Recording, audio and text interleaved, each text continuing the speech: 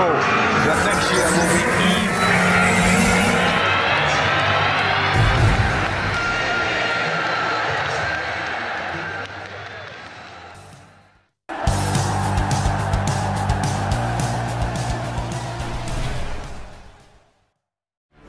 Manchester United ready to agree 110 million pounds contract for signing over massive rise report. As per report in Britain, the issue of deferred wages is perhaps stopping the player from completing his move to Manchester United via the Independent and Mirror.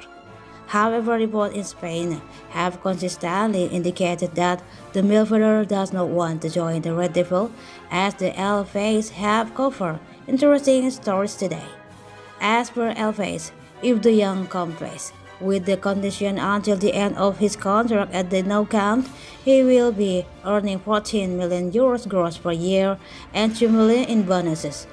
On the other hand, Manchester United are ready to agree a contract that will make the 25-year-old earn 22 million pounds, 26 million euros gross per year, 110 million pounds in the next five years.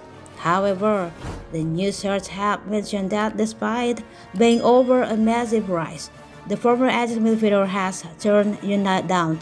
As per AS club president Joan Laporta has asked De Jong to cut his salary by 40 million euros if he wishes to stay with the Catalan Giants. The Netherlands star has insisted he does not want to join Manchester United because they will not be playing in the Champions League. The Madrid-based media also have mentioned that the ball in the court of the Dutchman who is not going to take the drastic pay cut especially after witnessing Barcelona pay huge fee and wages to secure new signings.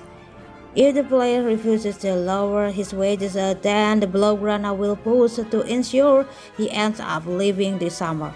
Barca have been activating financial levers to fund big money signing and even after losing Lewandowski, Raphinha, Kessie, Christensen, Dembele, New Deal, they are not done yet. It is clearly baffling how they are consistently telling De Jong that they cannot afford his salary.